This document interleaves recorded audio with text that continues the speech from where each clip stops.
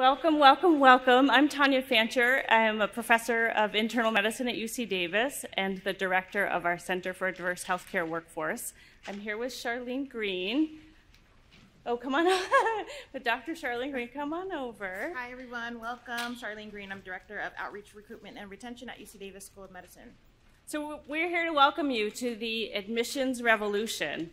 And um, Charlene will tell you a little bit about how we got here, but let me tell you a little bit about our center. So we started six years ago now with this idea that we could bring together a group of incredible researchers, partners from across the country to, to, uh, to really look deeply into workforce diversity.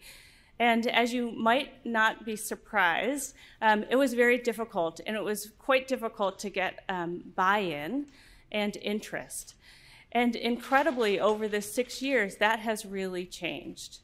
And we are so proud to, to, um, to be here with all of you to really now start to enact the pieces that have been waiting in the wings to be enacted. So let me welcome you, and um, I'm going to ask Charlene to tell you a little bit more about why we're focusing on admissions today. Um, thank you all again for joining us. So this event has been a long time coming, long overdue, uh, related to the global pandemic. Um, and this uh, concept actually started, Dr. Mark Henderson who you'll hear from a little later, um, we were on a plane together and we really wanted to pull together other health education colleagues um, to really help us disrupt the system. Um, and here we are. So we truly uh, wanted to do this event in person and in connection with the Beyond Flexner Alliance uh, conference because we know how impactful and passionate the patrons of this conference are. So we are here, um, and I'm so grateful to be with colleagues and friends uh, who are engaged in this work with us. Um, the UC Davis Center for a Diverse Healthcare Workforce has um, continuously worked to bring collaborators together to be this incubator for uh, innovation, um, for ideas to really change the healthcare workforce. Uh, some of our center supported researchers you'll hear from today, uh, Dr. Dowin Boatright, Dr. Lisa Meeks, uh, Dr. Efrain Talamantes, um, and I can tell you that you are all here for in for a treat today. I'd also like to acknowledge our incredible funders, HRSA, the AMA, Josiah Macy Jr. Foundation, and our partners, uh, George Washington University um, and Fitzmullen Institute, California Primary Care Association, Oregon Health and Science University, Washington State University, um, our other HRSA academic unit, uh, Primary Care and Training Enhancement Fellow Awardee, Rural Prep, is uh, represented by Davis Patterson today. So again, thank you all. We hope you really enjoyed today. Um, I also wanted to point out that you, this uh, will be recorded, so if there's a session that you'd like to attend that you're not able to, you'll be able to access the, that session later on on our YouTube page, so check the back of your programs. And I also want to just acknowledge Ara Jane Concepcion. She, Ara Jane Concepcion is our conference coordinator. She keeps all of us glued together, um, and she really just keeps us all in line. So thank you, Ara. And now I'd like to actually bring to the stage um, our first speaker, Dr. Dowin Boatright, who will talk about uh, diversity in academic medicine, the present state and future challenges.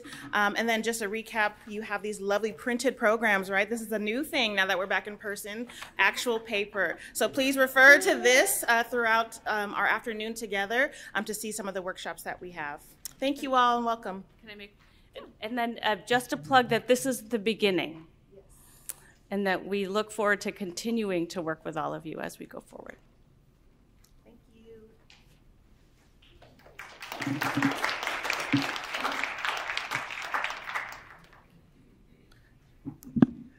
Hi, good afternoon. My name is Dowin Boatright, and I just want to say it's phenomenal to be here, seeing you all in person. And today I just wanted to discuss the state of diversity in academic medicine with a focus on medical education.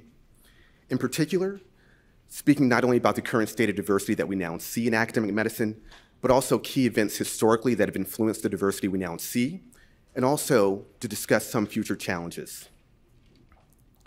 But before we do, I do want to spend just a few brief moments talking about why diversity is important.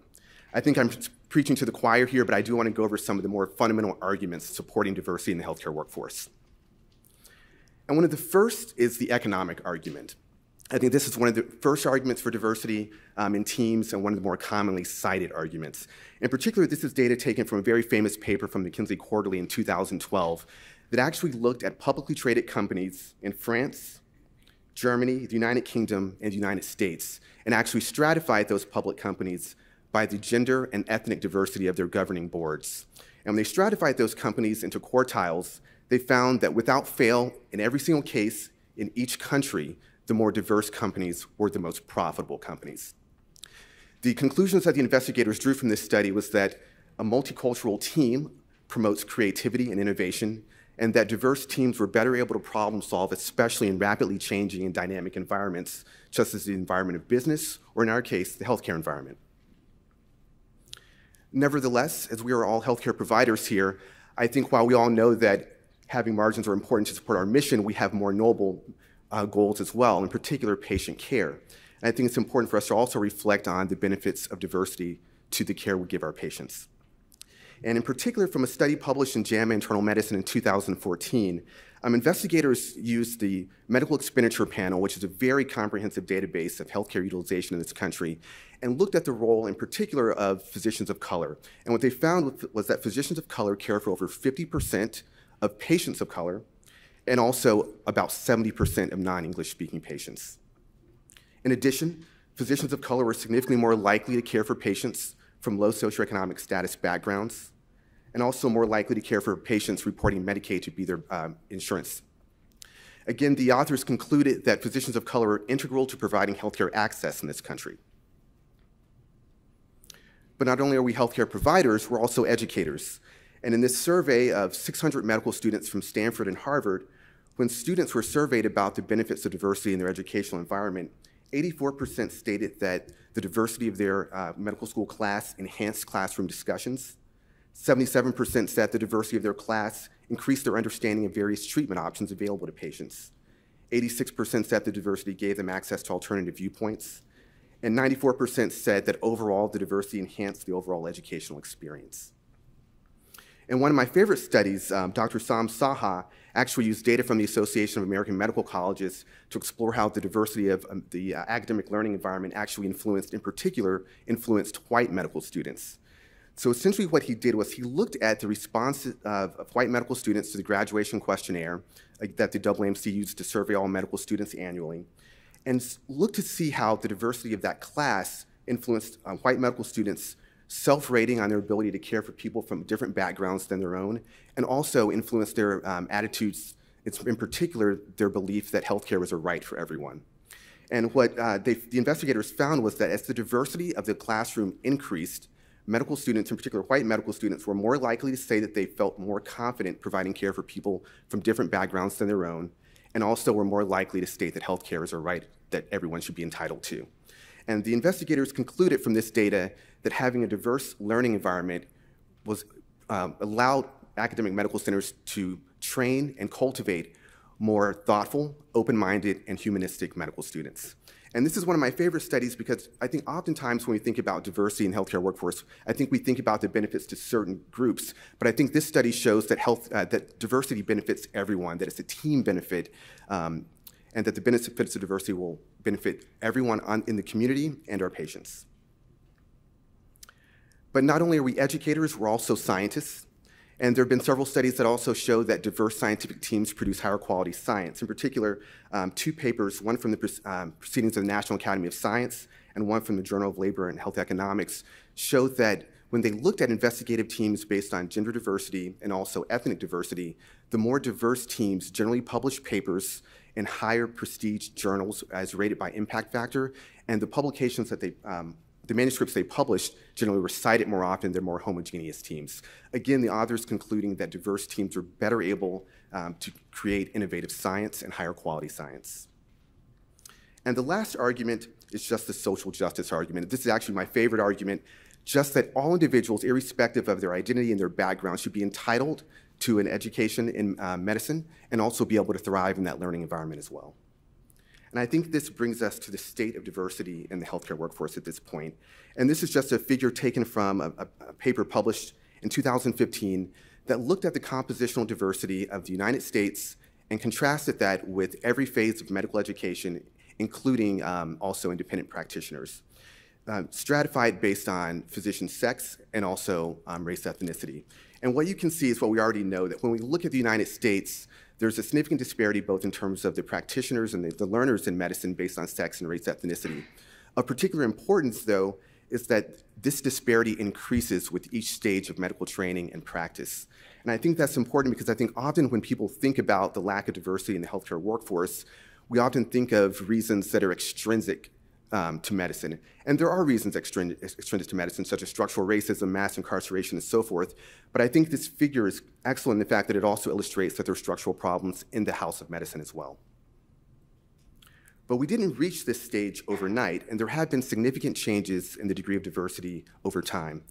In 1970, less than 10% of all medical students were women, and less than 3% were cl um, classified as underrepresented minorities or Black, Hispanic, Latinx, or Native American.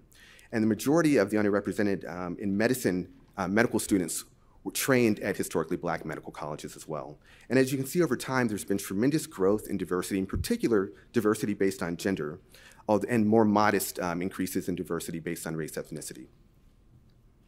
I think it's important to reflect on some of the national initiatives that have been important um, that have kind of spurned and generated some of the diversity that we see. And to do that, I just want to spend a little bit of time reflecting on this figure. I'm taken from a very famous article in the New England Journal of Medicine in 1994 uh, by the black um, psychiatrist Dr. Herbert Nickens.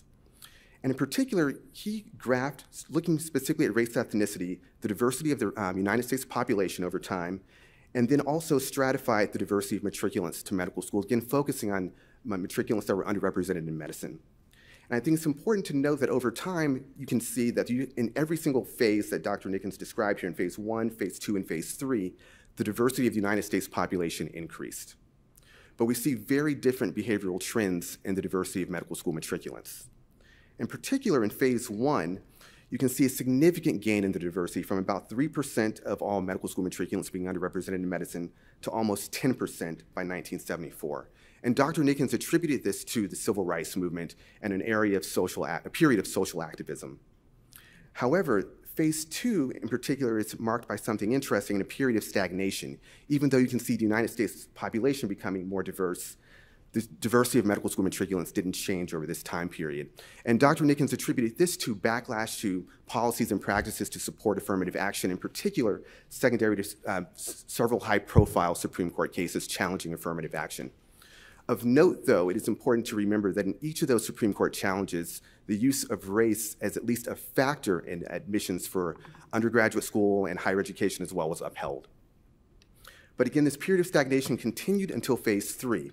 And phase three was marked by Dr. Nickens' own Project 3000 by 2000, a very ambitious project that Dr. Nickens spearheaded in um, collaboration with the Association of American Medical Colleges to actually have a national and comprehensive strategy to have 3,000 underrepresented matriculants by the year 2000 to medical school.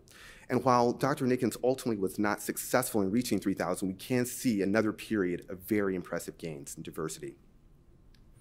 However, something curious happened after that, again, often um, brought on by several Supreme Court challenges to affirmative action. We didn't actually see a period of continued growth or even stagnation, but we began to see declines in the level of diversity among those underrepresented in medicine. And that decline continued until the Liaison Committee on Medical Education began to exert more influence on the practices and policies of medical schools related to matriculation and diversity. In particular, in 2009, the LCME released two diversity accreditation standards. And I don't want to belabor you with the, all the language except to focus on the word must that was included in both standards, such that now if medical schools do not have policies and practices to promote the recruitment and retention of those diverse in medicine, those schools could be cited by the LCME and lose their accreditation. And when we actually sought to examine how these accreditation policies actually influence diversity, we did a study looking at the matriculants to medical school based on gender and race ethnicity during a period before the accreditation standards were released and then subsequently after. And for women matriculants, you can see, just as the prior figure showed, from 2003 to 2009, the percentage of women matriculants to medical school steadily declined. Up until 2009, again, when the diversity standards were introduced, and that decline continued, although at a slower rate, and then just two years after the accreditation standards were introduced, the trend starkly reversed and the percentage of women matriculants began to increase um, on an annual basis to the point that by 2018, women actually represented the majority of matriculants to medical school.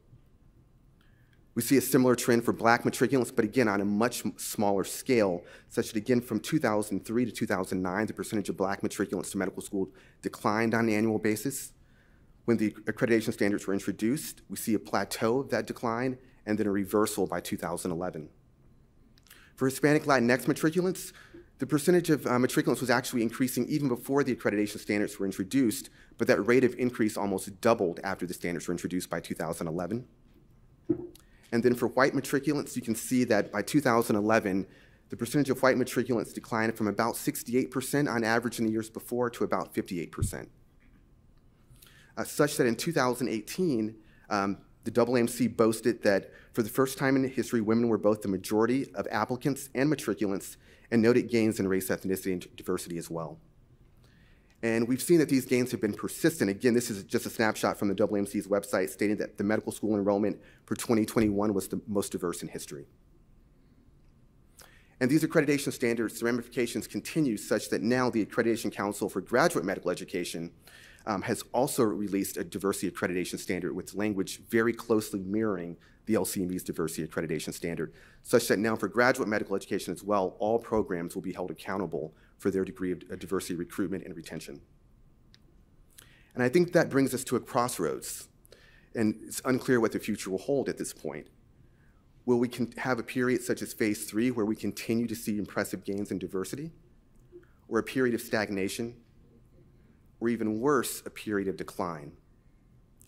And obviously, the future is unknowable, but I think we can use some data, especially from the lived experience of students of color, to gain some insight into what the future can hold. And to do so, I'd like to just um, describe three studies that we've conducted that can give us greater insight into the lived experience of students of color in academic medicine, in particular, how students are perceived, valued, and included in the learning environment. And to focus on how students were perceived, we decided we'd examine the language in the Medical Student Performance Evaluation Letter, also known as the Dean's Letter. We chose the Dean's Letter because the Dean's Letter is a structural component of every application for medical students to graduate medical education, and not only includes language from the Dean, but also language from that medical student's community, often from other medical students, residents, medical fellows, and also faculty. So we felt this letter could give a sense of how the medical and academic learning center community views medical students. To do so, we took applications from 6,000 medical students applying to graduate medical education, from 134 medical schools, applying to 16 different residency programs, all at one academic medical center being Yale. And again, our study cohort of 6,000 medical students closely mirrored all US seniors nationally across a range of demographics. And in particular, when we looked at these letters of evaluation, we looked for the presence of specific words that had been used to examine letters of evaluation and recommendation in prior studies, such as standout words such as best, excellent, outstanding, ability words such as intelligent, grindstone words such as hardworking, and words of compassion such as having empathy. And what we found was when we looked at the standout words, white medical students were significantly more likely to be described with these standout words such as exceptional, best, outstanding, and bright than students of color, with the exception of the word competent, which was most likely to be used to describe black medical students although in particular because the, the word competent, we actually felt this was not necessarily a compliment, but actually a term of minimal assurance. We also saw differences based on gender, with women being significantly more likely than, their, um, than men to be described with words of compassion such as caring and having empathy. So just from these dean's letters, again, a structural component of every um, application to graduate medical education, we can see that students were described differently based on aspects of their identity. We further wanted to gain insight into how students were valued in the Academic Medical Center. And to do so, we examined membership in the prestigious Alpha Omega Alpha Honor Society. Uh, the Alpha Omega Alpha Honor Society, or AOA, has um, started in 1902 and boasts over 150,000 inductees, including 75% of all U.S. medical school deans, 50 Nobel Prize winners, and 11 of 19 surgeons general. In many cases, membership in AOA is considered to be the highest honor a medical student can achieve. Moreover, studies have shown that membership is associated with future success. Members of the Honor Society are more likely to go into academic medicine and obtain faculty positions, and also more likely to obtain the rank of dean, more likely to obtain the rank of professor and the rank of chair than non-members. In terms of how members are selected, the National Honor Society sets guidelines. However, each individual medical school has significant discretion in terms of how members are chosen. Although the National Honor Society says that in a given medical school class, only 25% of medical students can be eligible for membership, and of those 25%, only 16% can ultimately be chosen. And the National Honor Society recommends that that 16% be chosen using holistic criteria such as leadership, community service, and also research. So again, we were very interested in how race and ethnicity was related to Honor Society membership. Again, using the same um, data set we had previously, we um, started with approximately 5,000 medical students in this case and removed all medical students coming from medical school without an AOA chapter, and also medical students from historically black colleges because we felt that the selection criteria might be different in historically black medical schools compared to uh, primary white institutions, and also removed all applications that where the medical student did not self-report race and ethnicity. And again, from this ERAS application or application to graduate medical education, we also, in addition to abstracting demographics such as race, ethnicity, age, and sex, we abstracted proxies for AOA selection, such as hours dedicated to leadership and community service, and additional variables that may influence honor society membership, such as the, the, medical student having a dual degree, such as a master's or a PhD, and standardized STEP scores, such as USMLE Step 1 scores, and also self-reported publications. And again, our, uh, the demographics of our study cohort were very similar to medical students nationally. And what we found was that AOA members had a significantly higher step one or standardized, standardized test scores, but no difference in hours dedicated to leadership or hours dedicated to community service. Moreover, in our fully adjusted analysis, accounting for all the variables I described previously, including standardized test scores, um, Asian medical students and black medical students were significantly less likely to be members, with Asian medical students being almost half as likely as their white peers to be members, and black medical students being 80% less likely than their white peers to be members. And th again, this initial analysis was based on race ethnicity, but we, eh, we always wanted to go back and revisit AOA and see if we could see if there were other disparities based on other criteria. And I had the opportunity to um, work with a phenomenal medical student, uh, Mytien Nguyen, to actually explore also how socioeconomic status influenced uh, membership in the Honor Society. In particular, um, looking at childhood household income, whether or not the medical student was a Pell Grant recipient, and also whether or not the medical student had ever received federal financial aid. And to do so, we used a much larger data set from the AAMC, including about 30,000 medical students.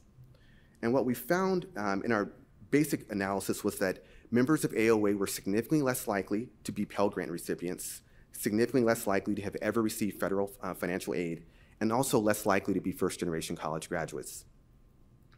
Moreover, in our fully adjusted model, again accounting for all the variables we described previously, when we looked at a very granular source of, uh, or measure for socioeconomic status, in this case being childhood household income, you can see an almost dose-dependent or stepwise response such that as medical students came from higher income families, they were significantly more likely to be members of the Honor Society, such that students from this lowest um, category of childhood household income were almost half as likely to be members than students from the highest um, category based on um, household income. Moreover, in this larger data set, we were also interested to see if the prior um, disparities based on race ethnicity were persistent.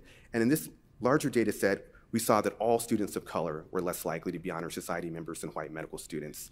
So not only were we able to see or from this data that perhaps bias and discrimination based on race and ethnicity play a role in honor society membership, but we can also see a dependence on socioeconomic status such that the disparities may not just exist in race ethnicity, but perhaps a more pervasive and um, sinister system of caste in the medical education as well. And these differences have not gone unnoticed. Um, this is just from an article from NPR that actually documented uh, Mount Sinai's own internal investigation of their Alpha Omega Honor Society. And they found over a five year period, they'd inducted approximately 120 medical students into AOA. And of those 120 medical students, only five came from an underrepresented background. Um, since that time, Mount Sinai has actually suspended their AOA chapter. So again, you can see two studies so far showing how medical students are perceived and valued in the um, academic learning environment based on aspects of their identity. We ultimately also wanted to see how medical students were included. And to do so, we decided to do an exploratory analysis of the prevalence of microaggressions um, in medical school and also how those microaggressions influence student wellness and also medical school satisfaction. And I think we all have an understanding of what microaggressions are, but I did want to spend just a little bit of time showing some pictures from um, a program at Harvard known as I2M Harvard, where Harvard undergraduate medical students decided to get together and actually use illustration to kind of both demonstrate and report some of the microaggressions they commonly experience. So here you have this man um, listening to headphones saying, no, it's not rap. Or these women here with signs that say, you don't speak Spanish, or no, where are you really from? And these students here with, you don't look like a normal black person, you know? You're not like the other black people I know, you speak so well. So while microaggressions have been well documented in higher education, less is known about the, present, or the prevalence of microaggressions in medical education. So we decided to adapt a validated instrument for, the, um, for my, this presence of microaggressions known as the Racial and Ethnic Microaggression Scale, and adapted in collaboration with um, several student organizations to better um, suit the climate of academic medicine. Again, to one, better understand the prevalence, but also understand how microaggressions influence student wellness, in this case, a screen for depression known as the Patient Healthcare Questionnaire 2, and also several questions about medical school satisfaction adapted from the business literature. Ultimately, our survey had about 14 questions, and just as a sample of some of the questions that were on the survey, people are surprised by how, how well I speak English. People mistake me for someone else who shares an aspect of my identity. People imply I was admitted to medical school for reasons other than academic merit. My ideas are ignored, but others are applauded when they say the same thing. If medical students endorsed any of um, these microaggressions, and again, in total we surveyed about 14, and reported them um, having experienced them more than a couple times a year, we would also ask that medical student why they felt that they experienced that microaggression. We had a range of possible sources of attribution, including gender, race, ethnicity, socioeconomic status, religion. And if the medical student didn't feel that the source of attribution was present, they could also um, write in why they felt they experienced it. And we ultimately sampled about 800 medical students, again, oversampling students of color. And again, surveying aspects of wellness, again, whether um, a positive screen for depression, and also measures of medical school satisfaction. And what we found was that, as we'd expect a priori, the, pre the prevalence of microaggressions was quite common, with about half of our study cohort reporting experiencing at least a microaggression at least once, once a week, and about 25% of students saying they experienced at least one microaggression almost daily. The sort, dimensions of microaggressions were varied, ranging from gender, age, ancestry, skin color, weight, and religion. And again, just to give a little bit more context to what the microaggressions uh, that some of the medical students experience, a few medical students actually wrote in um, some of the particular microaggressions they experienced as well, and I just wanted to share a couple with you. So one student wrote, I had an older male physician as a first-year mentor. I shadowed him every other week in his clinic for my intro clinical medicine required course. He would regularly introduce me to patients as a pretty face to talk to while you wait. Another student uh, wrote, I choose to wear my hair in its natural state sometimes and one of the professors made a comment, did you get electrocuted? After that comment was made, him and another professor proceeded to laugh. So again, we were interested in how these microaggressions influence wellness, and what we found was that when we actually stratified the frequency of microaggressions into um, quintiles, from the lowest quintile being the lowest frequency to uh, the fifth quintile being the highest frequency, again, in a very stepwise manner, as the frequency of microaggressions increased, medical students were significantly more likely to screen positive for depression, such that students in the highest quintile were almost seven times more likely than students in the lowest quintile. And in terms of medical school satisfaction, again, in a very exploratory analysis, we divided our cohort into just two groups. Um, one group, the 50% of students in our cohort that said they experienced microaggressions at least once a week, compared to the 50% that said they experienced microaggressions less frequently. Um, we labeled the group that experienced microaggressions at least once a week as the higher exposure group compared to the lower exposure group. And what we found was students in the higher exposure group were significantly less likely to say that they'd recommend their medical school to friends compared to students in the lower exposure group, were less likely to consider their current institution for graduate medical education or residency training, were less likely to say that they donate money to their medical school as a future alum, and significantly more likely to say that they've missed class in medical school, and also more likely to say that they've considered medical school transfer and ultimately withdraw from medical school. So again, you can see that how students report a sense of inclusion in medical school, at least from our study, suggests that there are significant implications in the future divorce, diversity of the healthcare workforce. So again, I think that brings us to the current state. And while we have experienced significant gains, and I think we'll continue to experience those gains and more innovation that I think we'll talk to talk about more today um, during the rest of our conference, I think one key element that will challenge the gains we've experienced is the climate of equity and inclusion that we currently see in medical education. So thank you all for allowing me to speak today, and I'd love to take any questions.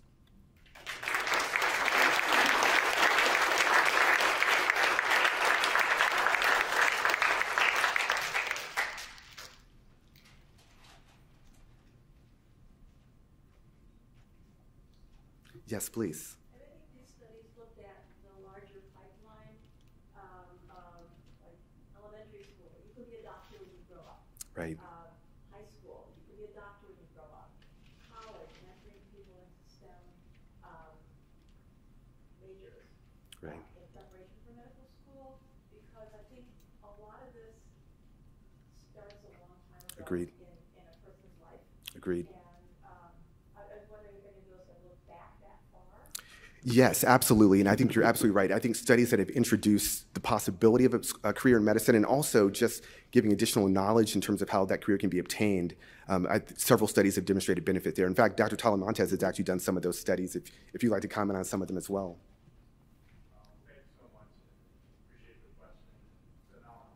Oh, thank you.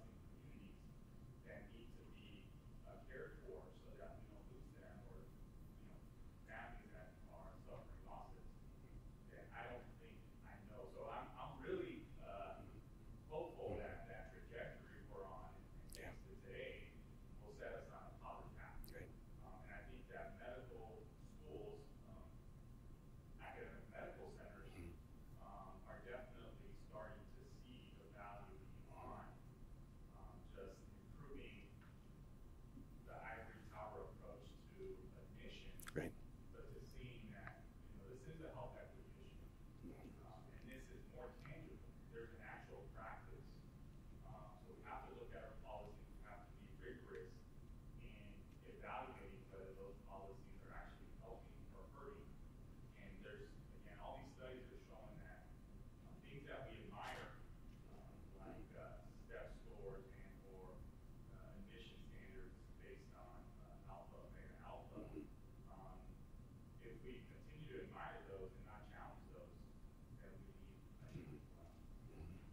Thank you very much.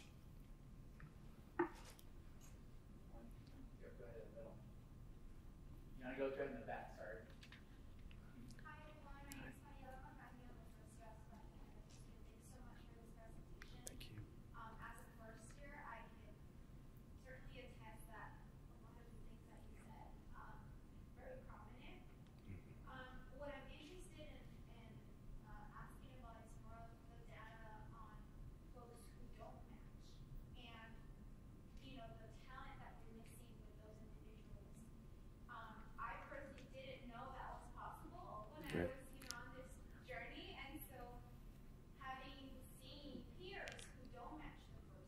Right. who are underrepresented students, it it it's on um, I- it just puts fear, right? It's Right. like, okay, am I gonna match? You know, so it is something that we need to help eliminate if possible. So have you all done research on that end? And um, a lot of this data can be used as a tool to change policies. So thanks so much for doing this research. No, thank you so much for the question. And again, just um, to summarize, the question wanted to know if there's any studies, any data currently looking at disparities based on race, ethnicity, or maybe other aspects of a student's identity in terms of their ability to match as well. And that's actually something we're just starting to look at.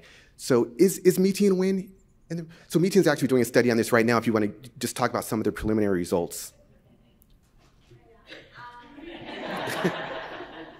You stand up, so we can.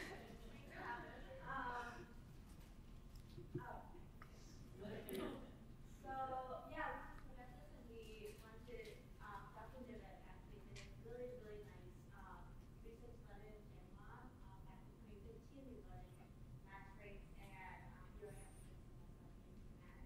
Um, and we uh, do a follow up and we found that currently, for the, including my academic class, at 114, um, your is still less match than white students. Um, and that has been because of multiple dimensions of um, marginalized identity.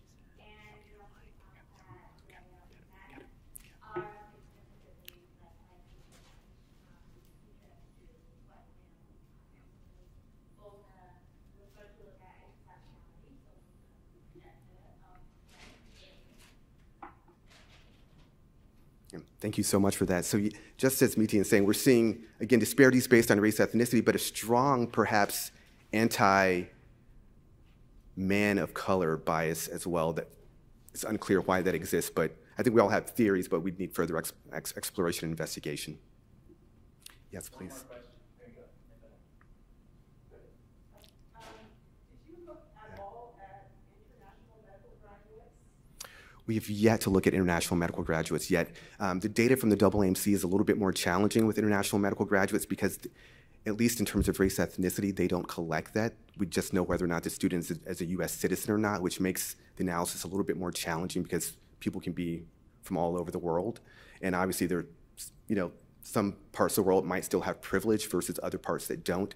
Um, but that is something we're further thinking about in ways that we can explore in a in a rigorous way. What would you say to program directors who are not particularly fond of diversifying the workforce or maybe they don't see the value in it? I think the main thing I would say is, again, I think program directors want to train the best clinicians possible to give the best care for their patients. And I think the data shows that a diverse group gives you access to the best talent. And diversity is the only way they're going to know that they have the best clinicians to give the best patient, care. Thank you so much.